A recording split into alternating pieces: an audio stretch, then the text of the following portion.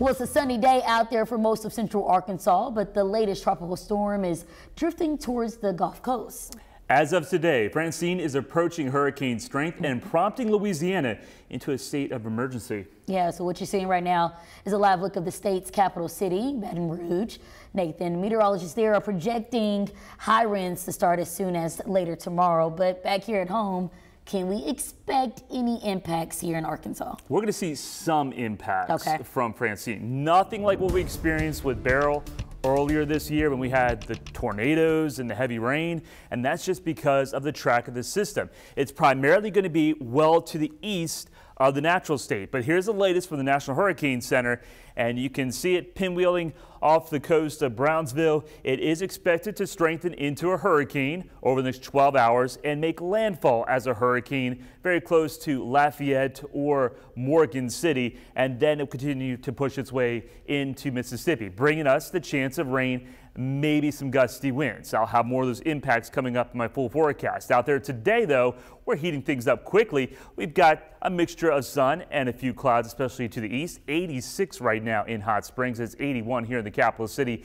and 85 in Pine Bluff. Highs today, we're topping out into the upper 80s to low 90s, but it's not going to be humid. Tomorrow, expect increasing clouds primarily a dry day. There will be potential. There could be some showers that start to sneak their way into southeast Arkansas as the first bands of Francine try to approach the natural state. But our chance of rain will be going up tomorrow night. And I think the worst of the weather is going to be happening on Thursday. But there's going to be a sharp difference on where you're watching us from.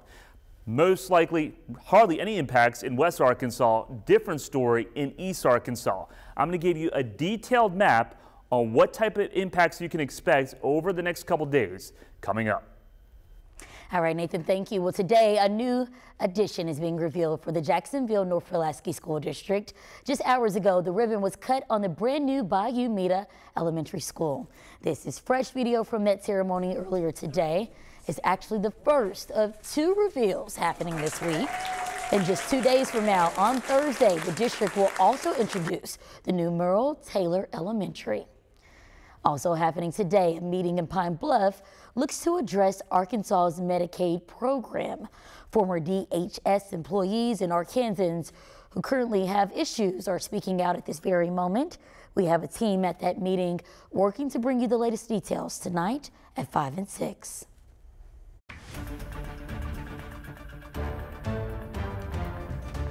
Some of the holes are this big around, this deep. I'm surprised anybody wants to come here to live at all. If I wasn't rooted here, I'd be gone in a heartbeat. Well, those were the words of people attending last night's quorum court meeting in Jefferson County. This time, the court has failed to approve funding for improving roads. It seems to be something that has been getting consistent complaints recently. The meeting started with discussions regarding a finance committee, and when that ended, fixing the roads became the topic of conversation. That's when the justices were unable to get on the same page, leaving no space in the budget for the repairs. The shape the roads are in, and we need to get it done. This money is in the road department. We just need to move it over so that they can begin to use it. In addition to road funding, almost every single item on the agenda also failed. New at noon, the Pulaski County Circuit Court is upholding a request to prevent the emails of a state Supreme Court justice from being released. According to the Arkansas Business Report, Associate Justice Courtney Hudson made the request after her fellow justices voted to release the documents. There will be a hearing to discuss the matter, and we don't know quite yet when that will take place. Maumelle Police is speaking out in response to a threat made to the schools within the city. We first told you about this yesterday.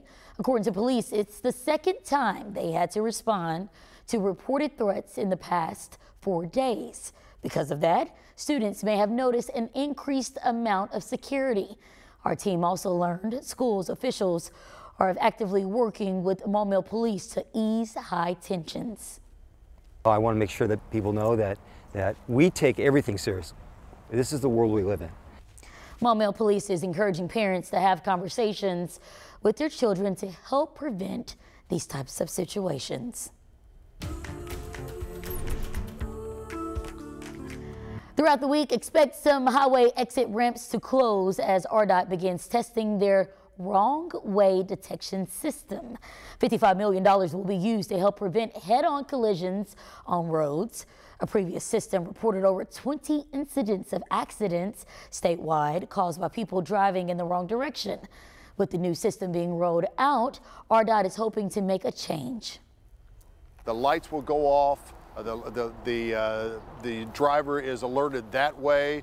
That signals to us here at our traffic management center that uh, there has been a wrong way detection happening out there. Once the camera goes off and the person's alerted, many times they will self-correct. You see them in a video, they'll turn around and whatever, uh, but sometimes they don't, and, and so one time could be too many.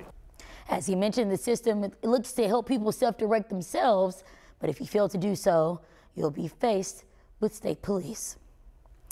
Meanwhile, Pulaski County is calling on your help to fight pet overpopulation in animal shelters.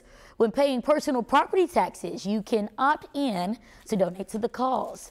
The Give $5 campaign will help create more spay and neuter vouchers that will be used to treat shelter animals. The answer for us is not to have more shelters to where we can keep holding more and more and more dogs. Uh, we need those shelters, but the overall answer is for spaying and neutering the animals that we already have so that there aren't unwanted animals produced. You can even use the voucher system on your own pets. Just reach out to the clinic for further assistance. The vouchers will cover up to $10 in care. Just hours from now, both presidential candidates will come face to face for the first time since receiving their party's nomination. Jared Hill gives you a look at last minute preps for the debate stage.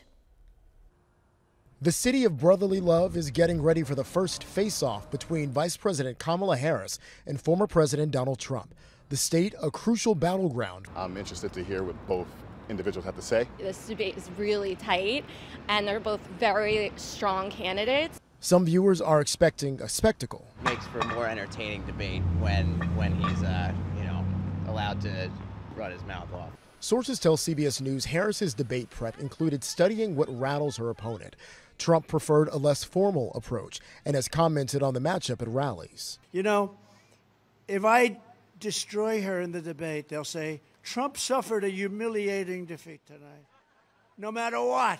Any chance for tit for tat is going to be minimal with a rule in place to mute the mics when it's not a candidate's turn to talk. But even the commercial breaks will speak volumes. We don't take an oath to a wannabe dictator. Harris's campaign is running an ad during the debate featuring former Trump administration officials who argue he isn't fit to be president. She's also bringing some of them as guests this evening. Both camps have also been eyeing young voters, live streaming events in vertical video to make it easier to watch on a phone. I think if the campaigns are smart, they will be working to get their spin of the debate, their, you know, best clips, their best moments from the debate on places like TikTok and Instagram. Getting their messages out in the run up to Election Day. Jared Hill, CBS News, Philadelphia. And as you just heard, a growing number of people are becoming interested in the presidential race. And for that reason, we've been seeing a jump in voter registration. In Pulaski County, election officials say a solid number of the public is getting registered, and that includes young adults. Some countries are pushing to ban social media for some age groups. Just ahead, learn why and if the move could be adopted internationally.